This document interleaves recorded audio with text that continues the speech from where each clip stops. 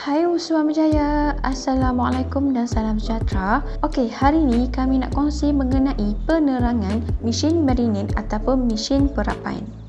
Okey, mesin marinade ini memang sangat sesuai digunakan untuk marinade ataupun memerap ayam, daging, sate dan lain-lain. Mesin marinade juga boleh disepatikan bahan-bahan perapan yang diperap ketika mesin dijalankan. Mesin ini juga dapat mempercepatkan masa perapan dengan begitu mudah.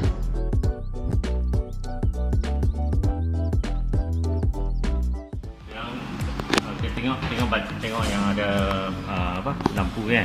Tekan ni, ha ni untuk uh, vacuum, vacuum yang masa. Okey, nak vacuum yang masa nak adjust macam mana? Tekan ni lama sikit ni lama sampai ni berkelip-kelip ha, ni untuk minit ha, ni untuk saat. Kalau nak saat tekan ni. Itu nak nak ha, ni nak tambah tambah sini. Okey nak tolak tolak sini. Okey lepas tu lepas je balik tekan balik ha ni.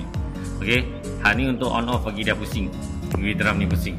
Tekan ha ni 15 minit 05 kira duk, duk jalan duk, duk, uh, 15 minit. Kalau nak tukar jam ni masa ni tekan lama sama juga. Okey ha ni untuk 15 minit Ha ni untuk saat. Kalau saat nak buat bagi kosong tekan dulu turun.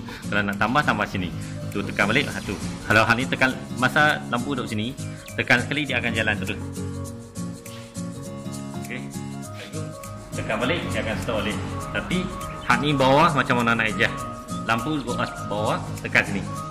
Bagi hak ni tekan sikit, tekan sikit bagi nak atas. Okey, nak tuang gelap pun sama, boleh boleh macam ni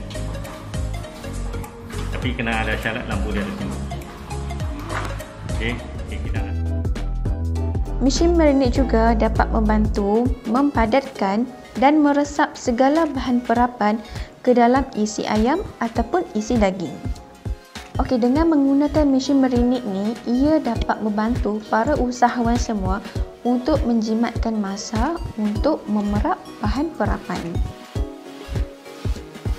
Okey, untuk sebarang pertanyaan, anda boleh layari laman web kami di kedai dan boleh direct call ataupun WhatsApp di nombor yang disertakan.